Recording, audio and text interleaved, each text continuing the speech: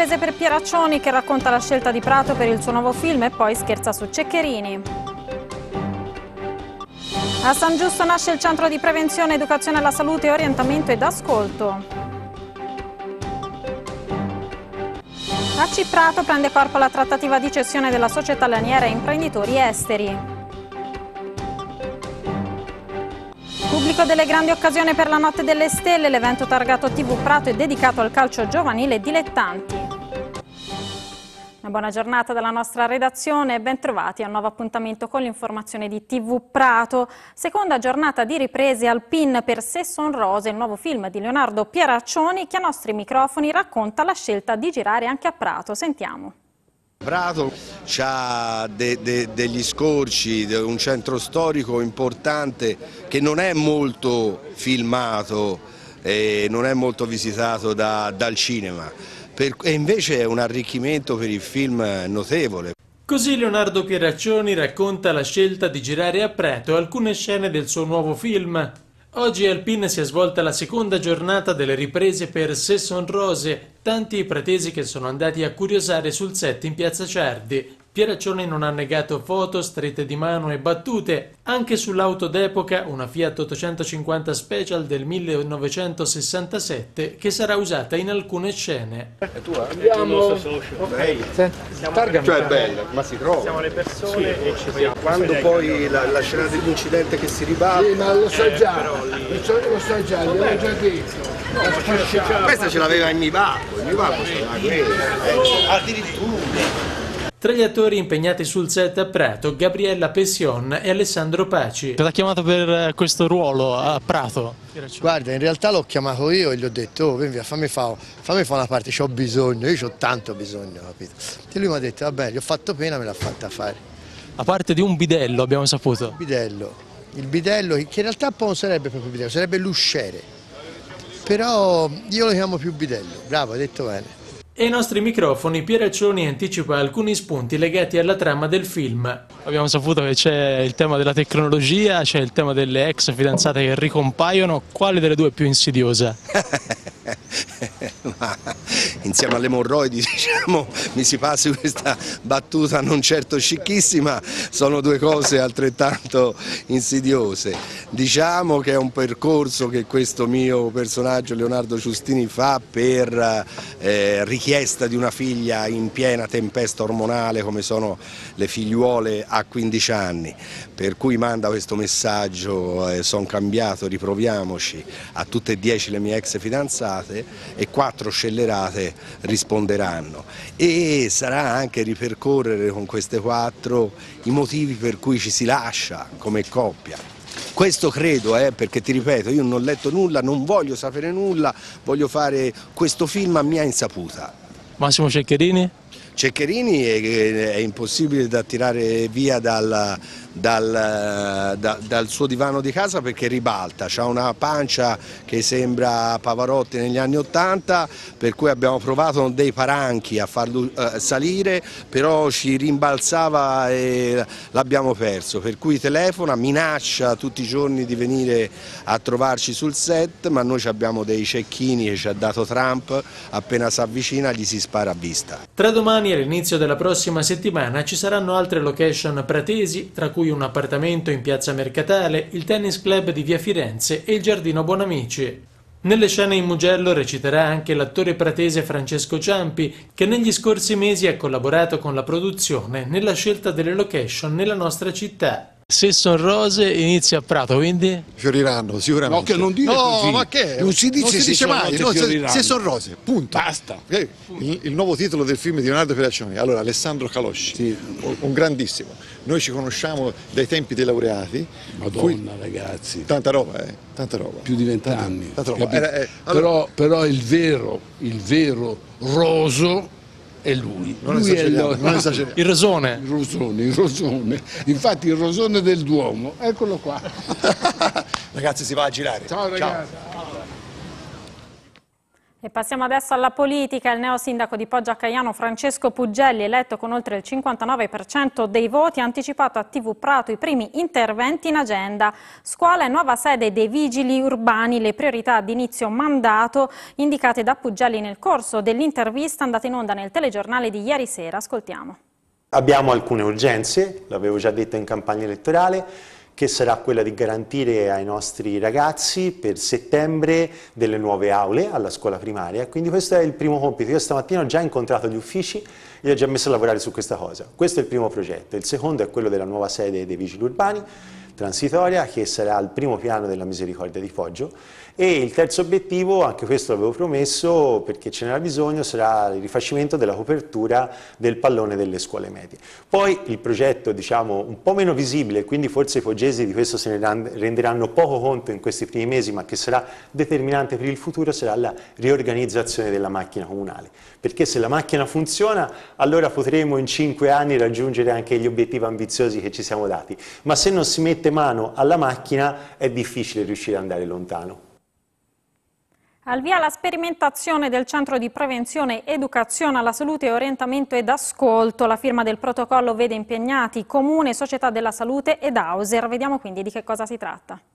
È stato firmato da Comune di Prato, Associazione Auser e Società della Salute di Prato il protocollo d'intesa per l'avvio di una sperimentazione sul territorio di un centro di prevenzione, educazione alla salute, orientamento e ascolto. Il protocollo stabilisce che Auser, avvalendosi di propri volontari o professionalità esterne individuate per specifici ruoli, in questo caso al momento due medici e due infermieri, utilizzi uno spazio all'interno del centro sociale Ventrone di San Giusto per svolgere due volte a settimana, il martedì e il giovedì dalle 9.30 alle 12, attività di orientamento e di indirizzo agli stili di vita, all'alimentazione, alle malattie croniche, alle ludopatie e alle dipendenze. È un passo importante. Eh, diciamo soprattutto per tutti coloro che frequentano qui il centro che è assolutamente frequentato nella zona di San Giusto e quindi avevamo un ringraziamento a tutti i volontari dell'Auser per questa iniziativa che si svolge il martedì e il giovedì della, nella, durante la mattinata e ci saranno incontri eh, con, con, le persone appunto che frequentano il centro e lo scopo maggiore è quello di eh, lavorare diciamo, per quanto riguarda gli stili di vita, la prevenzione e quant'altro insomma, per quanto riguarda sempre l'attività di prevenzione sociosanitaria. E parliamo adesso della cessione dell'AC Prato, la pista che porta all'estero si fa sempre più calda e particolari nel servizio di Massimiliano Masi. Arrivano le prime conferme. Il nuovo Prato parlerà inglese. Prendono corpo le trattative per la cessione del Prato ad imprenditori esteri. In pole position una cordata italo-canadese. A confermarlo durante l'evento di TV Prato La Notte delle Stelle il sindaco Matteo Biffoni. Siamo a un punto in cui si, stringe, si stringerà nei prossimi giorni eh, su quelle che sono le offerte a nostro modo di vedere e sulle carte ci sono arrivate più interessanti.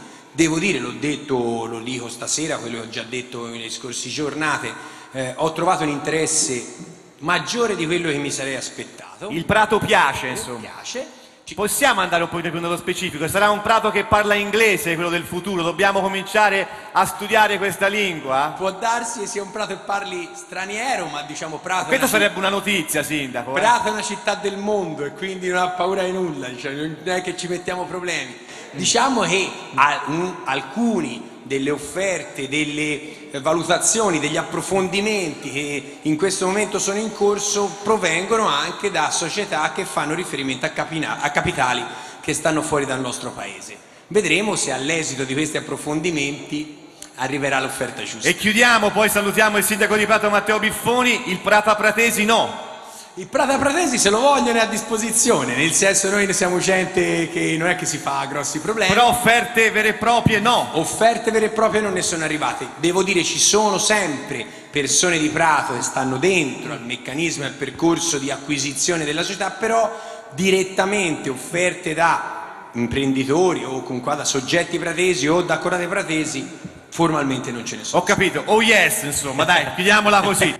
Nel fine settimana le trattative entreranno nel vivo e sono attesi sviluppi. Siamo davvero ad un passo dalla svolta.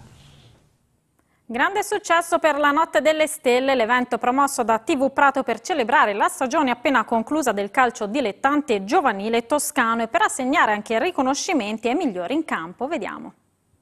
È stato un successo senza precedenti, pubblico delle grandi occasioni e sale eventi del Museo Pecci sold out per la Notte delle Stelle, l'evento targato TV Prato in collaborazione con il quotidiano La Nazione, l'almanacco del calcio toscano e il sito campionando.it. La manifestazione ha voluto premiare i migliori calciatori e dirigenti toscani per il calcio giovanile e dilettanti. La serata condotta dal nostro Massimiliano Masi con la collaborazione di Diletta Bitorzoli ha visto la presenza del sindaco di Prato Matteo Biffoni e delle massime cariche federali della Federazione Italiana Gioco Calcio, con il presidente Paolo Mangini, il vice Massimo Teiti e il presidente dell'Associazione Italiana Arbitri Vittorio Bini. È stata una vera e propria parata di stelle tra i premi più importanti, quello che antibanca alla carriera per il giocatore del tavolo Leonardo Carletti, mentre il premio Assiteca Futuro Assicurato è andato a Francesco Renzi dell'Africo, figlio dell'ex premier Matteo, in procinto di passare al Genoa. Per il calcio dilettanti il premio TV Prato è andato al Viaccia, riconoscimento a sorpresa anche per il direttore di TV Prato Gianni Rossi, mentre quello dell'almanacco del calcio toscano è andato a Matteo e Massimo Innocenti dell'Audax Rufina. Panchina d'oro di eccellenza a Fabio Ercolino del San Gimignano. Insomma, tanti premi in una serata che ha confermato la nostra emittente come punto di riferimento a livello mediatico toscano per il calcio giovanile e dilettanti. In conclusione, il premio al gol più bello a Leonardo Manganiello della Zenit, una rovesciata per chiudere in bellezza. E passiamo adesso alla cultura. Nei principali musei della città l'estate sarà anche a misura di famiglia, spettacoli per bambini, aperitivi alla Campolmi e molto altro ancora nella rassegna Prato Musei. Sarà un'estate all'insegna del divertimento, quella che i musei della rete Prato Musei hanno programmato per i mesi di giugno e luglio. Museo del Tessuto, Museo dell'Opera del Duomo, Museo di Palazzo Pretorio e Centro Pecci hanno ideato un calendario di attività rivolto soprattutto alle famiglie con bambini. Ma ci saranno anche numerose occasioni per gli adulti, con appuntamenti all'insegna dell'arte, della musica e del buon gusto e molte occasioni per visitare i musei. Il Museo del Tessuto il 14 giugno apre la rassegna estiva con una programmazione nata dalla sinergia con Fondazione Opera Santa Rita e Cooperativa Opera 22, il nuovo soggetto gestore della caffetteria del Polo Campolmi. Il locale si chiamerà Campolmi Busse, in onore del grande bus inglese rosso a due piani che caratterizza il piazzale dell'area. Si parte alle 17.30 con un'iniziativa al museo che sono i pupi di stack, riservata a bambini e famiglie, e poi si prosegue con delle iniziative del eh, Zappa e Brigata Ballerini organizzate dalla caffetteria.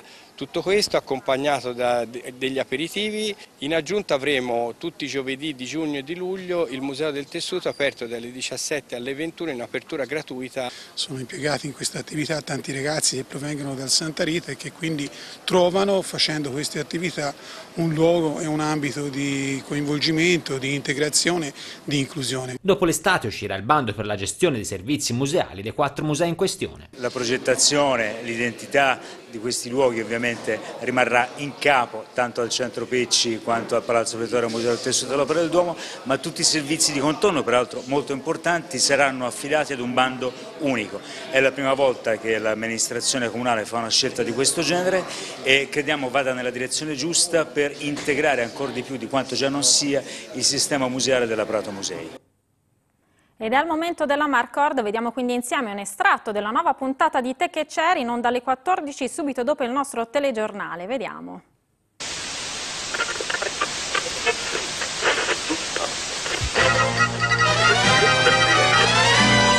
Everybody's voting for the friendly voice of radio, the people's choice. Music, weather, sports and news, it's radio.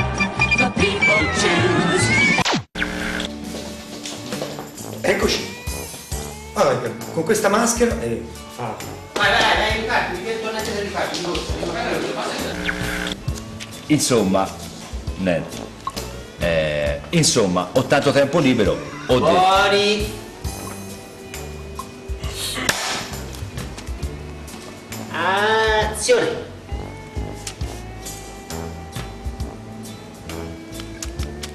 Fuori! Scusi, ma lei ce l'ha il permesso per la zona blu?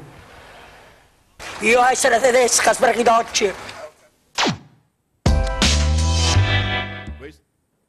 Un'altra puntata quindi da non perdere, è il momento adesso delle previsioni del tempo, ci colleghiamo con la sala meteo del Consorzio Lamma per tutti gli aggiornamenti del caso, a voi.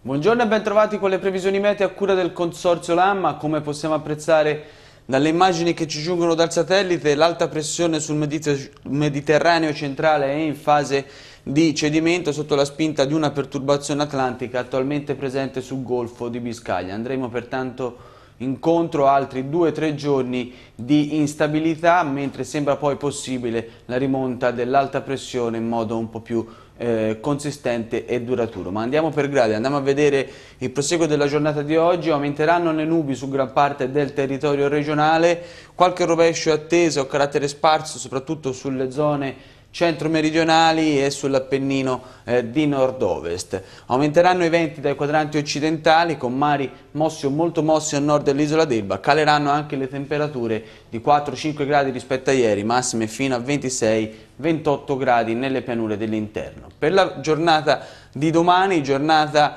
eh, ancora più instabile, inizialmente saranno possibili dei rovesci e temporali sparsi lungo la fascia costiera, aumenterà ulteriormente l'instabilità tra la tarda mattinata e il pomeriggio con fenomeni che nel corso delle ore pomeridiane saranno più frequenti e probabili sulle zone interne della regione, ancora rovesci e temporali, localmente anche di forte intensità. Venti fino a moderati dai quadranti occidentali, ulteriore calo delle temperature, domani non oltre i 24-25 gradi anche 2-3 gradi sotto le medie del periodo. È tutto, vi ringrazio per l'attenzione. E questa era l'ultima notizia, il telegiornale termina qui, il prossimo appuntamento con le informazioni di TV Prato è per questa sera alle 20.30. Grazie per averci seguito, arrivederci.